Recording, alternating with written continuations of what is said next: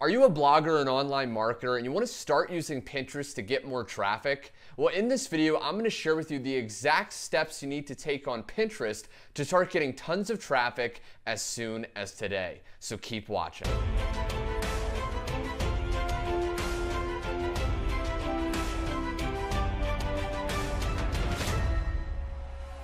On this channel, I teach entrepreneurs how to get more leads and sales using social media. So if you want more videos like that, be sure to go down below, subscribe, and then click that little bell notification so you're always notified of videos just like this. Okay, the very first thing is you want to create a business account on Pinterest. It's very important you do this because this is going to allow you to add a website, get insights, different analytics on what's working, and other benefits that having just a personal account will not give you. Now, in order to sign up for a business account on Pinterest, you simply want to head to business.pinterest.com. And uh, once you're there, you just want to go to this top right and click sign up. Okay, once you do that, you're going to be able to fill out your information and sign up as a business account. Now, after you've entered your information, you want to make sure you enter a website and then confirm that website. The way you can confirm it is basically you're going to copy and paste the text they give you into the HTML of your website's index page. There's lots of websites and tutorials that would walk you through that step by step, but the reason you want to confirm your website is it allows you to see what people pin from your website. It also adds your logo to any pins made from your site. Confirming your website will also boost your pin's rankings and search results. Okay, so very powerful. You want to confirm your website. So once you've created your business account on Pinterest, the next thing you want to do is create your first board. Now, if you don't have a board already or you don't know what a board is, it's basically a category, a folder that will actually hold different pins. Now, a pin is simply a post that you've saved. Okay, so if I click one of my boards, it's Facebook marketing techniques. Now, if I go through, all these are different pins, and you can basically save different videos, different blogs. Okay, some of them are from me, some of them are from different people. And these are all pins in the board of Facebook marketing techniques. Okay, so let me go back to my main page and I want to share with you how to create a board very effectively. So once you're on the tab of boards on your profile, you want to click create a board. Now the first thing you want to do is put in a name that's basically going to demonstrate to other people what information is inside of this board. Now you want to be specific and you want to talk about something that is going to be related to your business or your niche. Okay, so for example, let's say you're in uh, health and fitness and you teach people how to lose weight. Well, you could create a board that says weight loss tips. Okay, weight loss tips. You know, and then what you would want to do is start adding pins to that board. The idea here is to not talk about your business or products, okay? So you want to make the board title something related to maybe tips, information. So what's going to turn people off is if you just put in like products or things like that, okay? You want to talk about something benefiting them and then just hit create. Now, once you create your board, you want to edit it and enter in information that makes it easier for other Pinterest users to find. So you want to just go down to this little pen, click that, and then you can edit your board. So for example, you know, if I want to change the name, I can do that here. Description, you want to enter what this is about. Okay, so for example, for this Facebook marketing techniques, I could say, discover some of the best Facebook marketing techniques to help grow a business today. Okay, right? Very clear, very descriptive. Next thing you want to do is enter in a category. Okay, so for example, if you're talking about animals and pets, you know, you want to select their design, education, okay, entertainment. This is more education based, so I'm going to do that. Now the cover, this is very powerful. This is how I've been able to build, you know, thousands of followers on my Pinterest boards and the way to do that is I have really cool covers. Okay, so I can go here and hit change. And then what it's going to be is it's going to share all the different pins that I've actually done. So if you want to create a custom board, like I have here, okay, all these different custom boards, what you want to do is you want to actually go into the board. This is a bonus tip Then you want to go here, okay, create pin, upload an image of a nice looking board cover, okay, with good text and, and something describing what that is, and then you can add a URL that you want it to link to.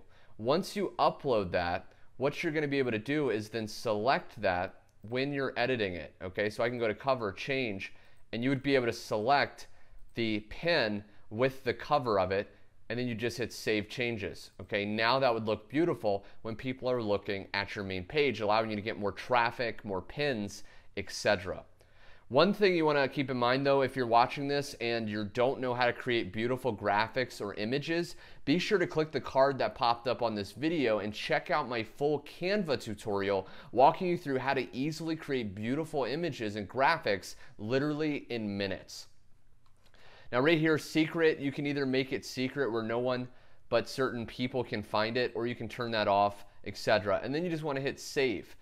Once you've created your first board, then you can start pinning and building this board. Now, a lot of people want to start going out on Pinterest, create a board, and then fill it with only their posts. But Pinterest is about sharing. Okay, so what you actually want to do is when you first create a new board, you want to pin around 10 or more posts from other people. Okay, and the way to do that is you want to go up to the search bar and type in your niche. So, for example, let's say you are in weight loss. I'll go weight loss. Okay, weight loss, let's say tips.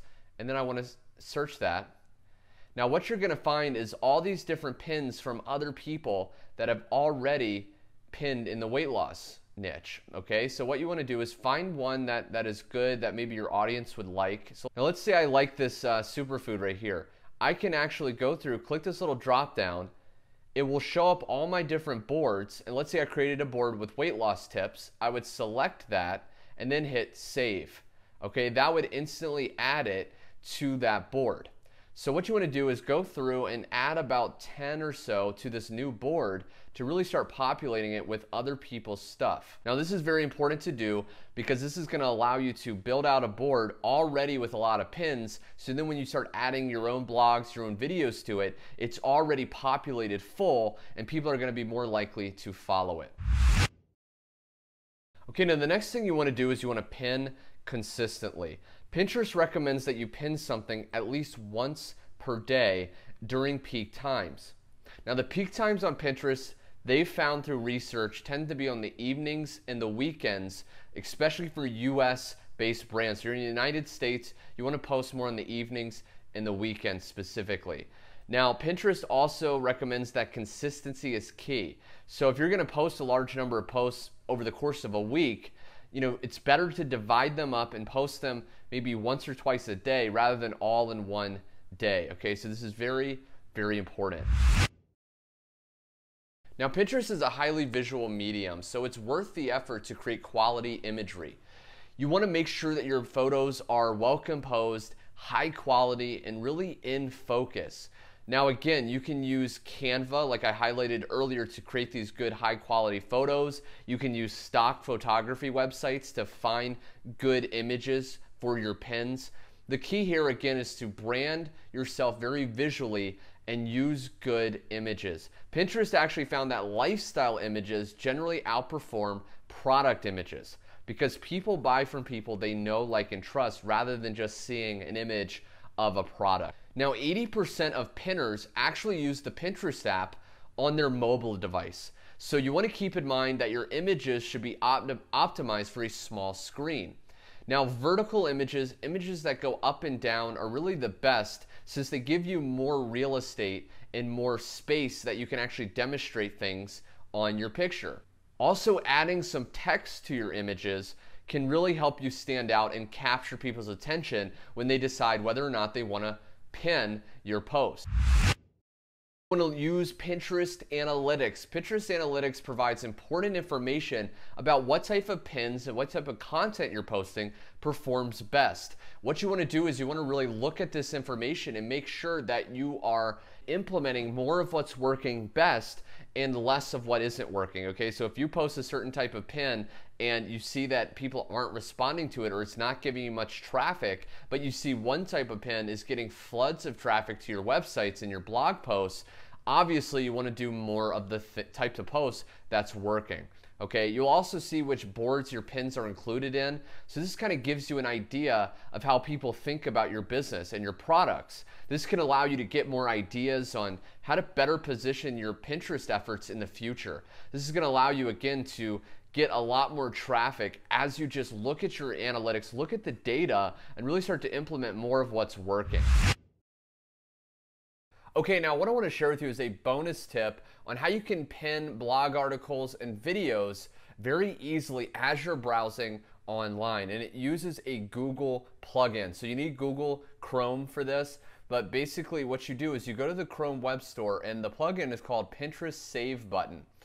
I can include a direct link below. Now, what you want to do is you want to click Add to Chrome, and then just Add Extension. Now, as you can see, it's been added right here okay? So now let's say I'm on a website and I'm gonna use my blog for example. Okay, so I'm on one of my blog posts and what you can actually do is let's say you're on your own blog or someone else's and you wanna pin it to one of your boards, you can just go up here, click that plugin, and then it's gonna scrape different images that are actually on that website. And let's say I like this image here. Okay, well I can just hit save and then it's gonna pop up into what board I wanted to save in. Okay, and I can edit this description, you know, seven powerful Instagram tips. And then I can go to the Instagram board that I created, right? Or I can create a board from here if I don't have a board that I think that pin will go for. Okay, so this plugin is very powerful and you can use this as you're browsing your website to build pins and start generating even more traffic to your websites. So now you know how to start using Pinterest to generate traffic, but how do you turn this traffic into leads for your business? Well, be sure to grab my free training audio, 17 ways to get leads today, either down below or head to garrettgetsresults.com forward slash 17 ways. In that training audio, I'm gonna walk you through 17 different ways to get leads today. All of them are easy and all but one of them are totally free. So I hope you enjoyed this video, my friend. If you did, be sure to click the like button below, share it with your friends and any business partners, and be sure to subscribe. Last but not least, comment below how this helped you, which one of these tips were your favorite, and I will see you in the next video.